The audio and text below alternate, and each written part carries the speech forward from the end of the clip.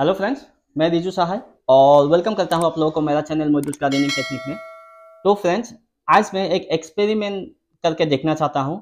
ये सक्सेस होता है कि नहीं होता है मुझे पता नहीं है, क्योंकि मैंने काफ़ी सारे वीडियो में देखा है। जो आज दिखाने वाला हूँ, वो आप लोग वीडियो लास्ट तक देखिए, आप लोग बहुत ही अच्छी तरह से ये एक्सपेरिमेंट समझ सको। तो काफ़ी सारे वीडियो में मैंने देखा है, इसीलिए मैं भी करना चाहता हूँ। मुझे पता नहीं है कि ये सक्सेस होगा कि नहीं होगा और जब तक ये सक्सेस ना हो जाए, तब तक आप लोग इसे ट्राई मत कीजिए। तो वीडियो जो है, वो लास्ट तक देखिएगा। तो सबसे पहले, ये आप देखिए, ये एक अनार है और ये आप देखिए, ये एक माल्टा है। इन दोनों की सीट को मैं एक साथ, एक ही कैप्सूल के अंदर, जो कैप्सूल होता है, उस कैप्सूल के अंदर एक साथ में ग्रो करके देखना चाहता हूँ कि उसमें जो प्लांट बनता है, वो कैसे बनता है और उसमें जो फ्रूट होता है वो उस फ्रूट में थोड़ी सी सेंजेस आता है कि नहीं आता है। तो मैं आज में यही एक्सपेरिमेंट इस वीडियो में दिखाने वाला हूँ, क्योंकि काफ़ी सारे वीडियो में मैंने देखा है तो वीडियो जो है वो लास्ट तक देखेगा तो सबसे पहले ये आप देखिए, ये अनार है, इसको मैं काट लूँगा।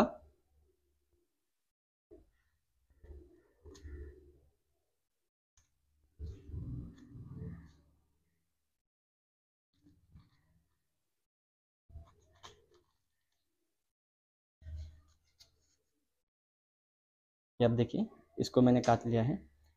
यहाँ से एक सीट मैं निकाल लूँगा और इसको भी मैं काट लेता हूँ। ये आप देखिए, ये माल्टा है, इसको भी मैं काटूँगा।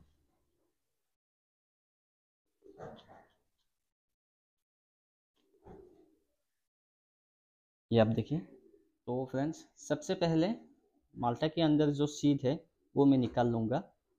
इस तरह से इसको रख दूँगा ऐसे।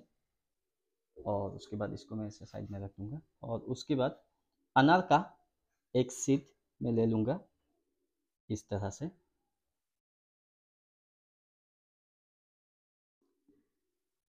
और उसके बाद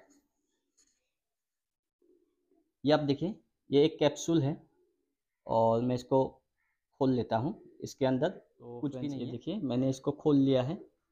ये जो कैप्सूल है इसको मैंने खोल लिया है। और अब मैं क्या करूँगा जो ये माल्टा का सीड है इसको भी मैं इसके अंदर डालना पड़ेगा। इसको भी मैं ऐसे इसके अंदर ऐसे डाल दूँगा।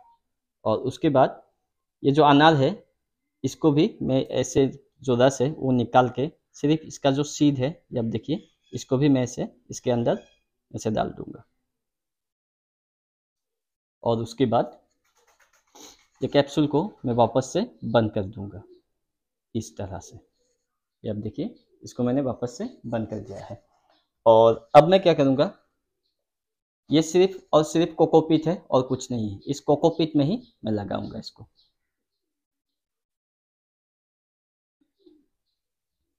इस तरह से। और उसके बाद थोड़ी सी पानी दे दूँगा।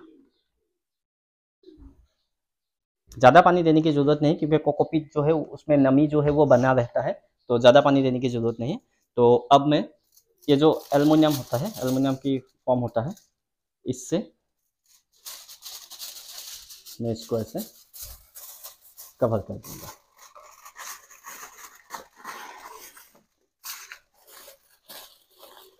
और उसके बाद इसको ऐसे कुछ दिन के लिए छाव में रखूँगा।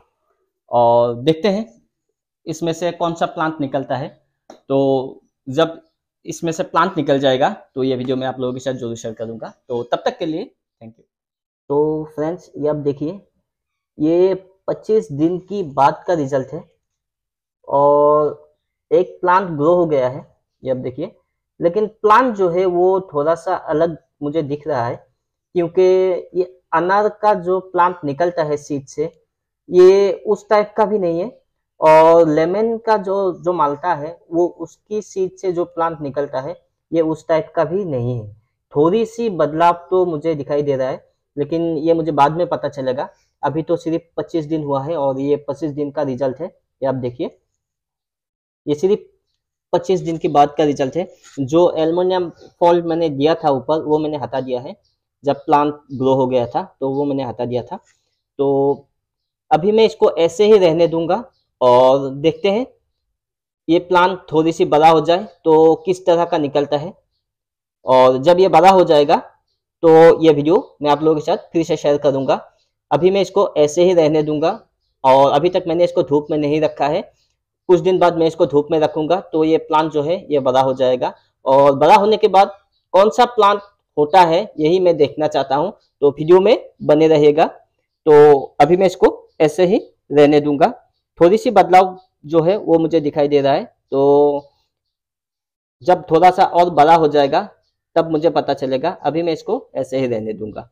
तो फ्रेंड्स, तब तक के लिए थैंक यू। तो फ्रेंड्स, ये अब देखिए, ये दो महीने हो चुका है।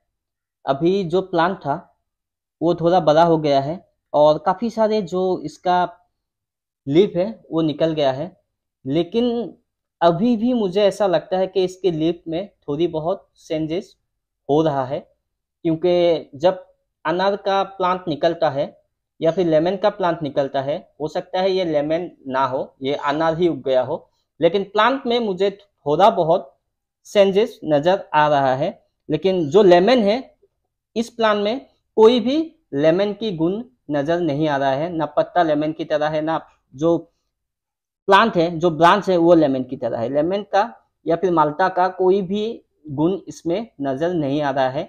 अभी तो सिर्फ़ अनर का ही लुक इसमें आ रहा है। अनर का प्लांट जैसा है, इसमें भी वही नज़र आ रहा है। ये तो मुझे ऐसा लगता है कि ये अनर का प्लांट ही है, लेकिन जब ये प्लांट और भी ज़्यादा बड़ा हो जाएगा और इसमें से फ्रूट आएँगे तो मैं ये देखना चाहता हूँ कि फ्रूट में जो सेंजेस है, वो आता है कि नहीं आता है। अभी मैं इसको और भी अच्छी तरह से ग्रो करूँगा।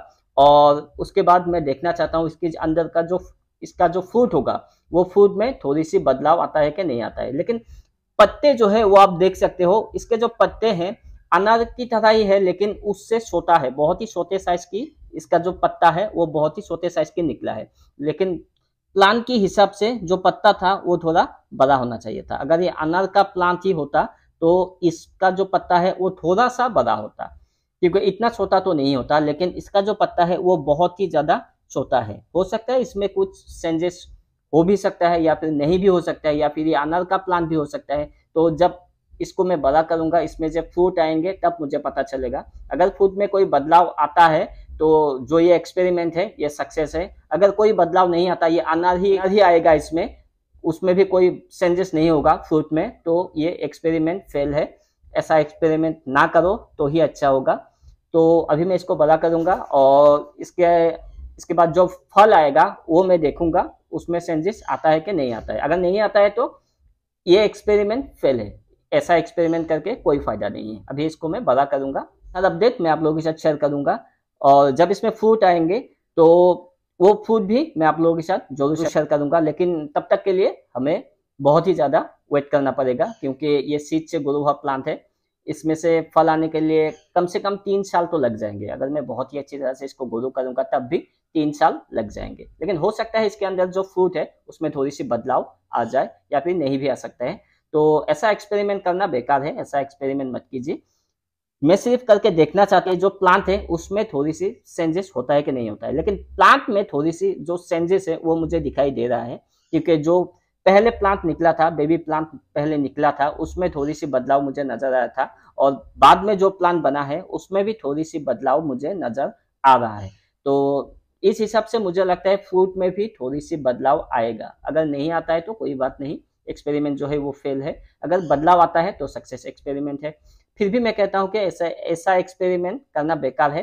क्योंकि रिज़ल्ट के लिए काफ़ी ज़्यादा हमें रुकना पड़ता है, तीन साल, चार साल हमें रुकना पड़ता है। तो फ्रेंड्स उम्मीद करता हूँ आप लोगों को मेरी वीडियो अच्छी लगी होगी। अगर अच्छी लगी है तो प्लीज़ इसे लाइक कीजिए शेयर कीजिए और मेरे चैनल को सब्सक्राइब करना मत भूलिए, ताकि जब भी मैं कोई नया वीडियो अपलोड करूँ तो सबसे पहले आप लोगों के पास पहुँच जाए।